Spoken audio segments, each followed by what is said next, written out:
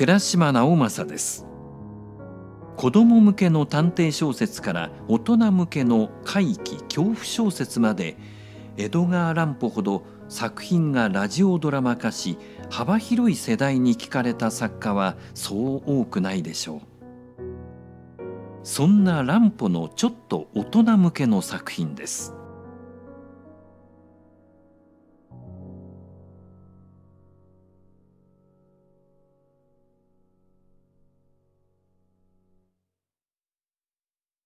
指。江戸川乱歩。患者は手術の麻酔から覚めて私の顔を見た。右手に厚ぼったく包帯が巻いてあったが手首を切断されていることは少しも知らない。彼は名のあるピアニストだから右手首がなくなったことは致命傷であった。犯人は彼の名声を妬む同業者かもしれない。彼は闇夜の道路で雪吊りの人に鋭い刃物で右手首関節の上部から切り落とされて気を失ったのだ。幸い私の病院の近くでの出来事だったので彼は失神したままこの病院に運び込まれ私はできるだけの手当てをした。君が世話をしてくれたのか。ありがとう。酔っ払ってね。暗い通りで誰かわからないやつにやられた。右手だね。指は大丈夫だろうか。大丈夫だよ。腕をちょっとやられたが何？じきに治るよ。私は親友を落胆させるに忍びずもう少し良くなるまで彼のピアニストとしての生涯が終わったことを伏せておこうとした。指もかい？指も元の通り動くかい？大丈夫だよ。私は逃げ出すようにベッドを離れて病室を出た。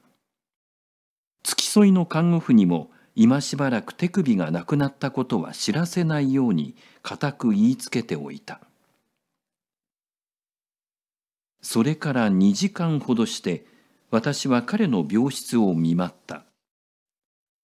患者はやや元気を取り戻していた。しかしまだ自分の右手を改める力はない。手首のなくなったことは知らないでいる。痛むかい？私は彼の上に顔を出して尋ねてみた。うん、よほど楽になった。彼はそう言って私の顔をじっと見た。そして毛布の上に出していた左手の指をピアノを弾く格好で動かし始めた。いいだろうか。右手の指を少し動かしても。新しい作曲をしたのでねそいつを毎日一度やってみないと気が済まないんだ。私はハッとしたがとっさに思いついて幹部を動かさないためと見せかけながら彼の上白の尺骨神経の箇所を指で押さえた。そこを圧迫すると指がなくてもあるような感覚を脳中枢に伝えることができるからだ。彼は毛布の上の左手の指を気持ちよさそうにしきりに動かしていたが「ああ右の指は大丈夫だね。よく動くよ」とつぶやきながら夢中になって架空の曲を弾き続けた。私は見るに耐えなかった。看護婦に患者の右腕の尺骨神経を押さえているように目顔で指図しておいて足音を盗んで病室を出た。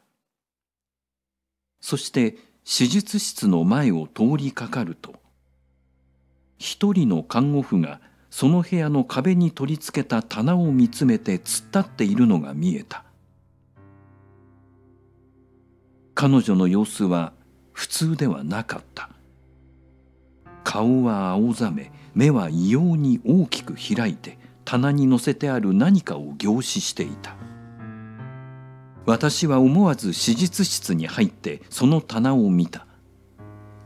そこには彼の手首をアルコール漬けにした大きなガラス瓶が置いてあった。一目それを見ると私は身動きができなくなった。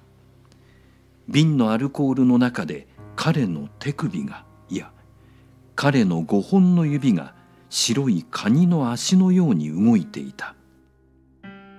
ピアノのキーを叩く調子でしかし実際の動きよりもずっと小さく幼児のように頼りなげにしきりと動いていた。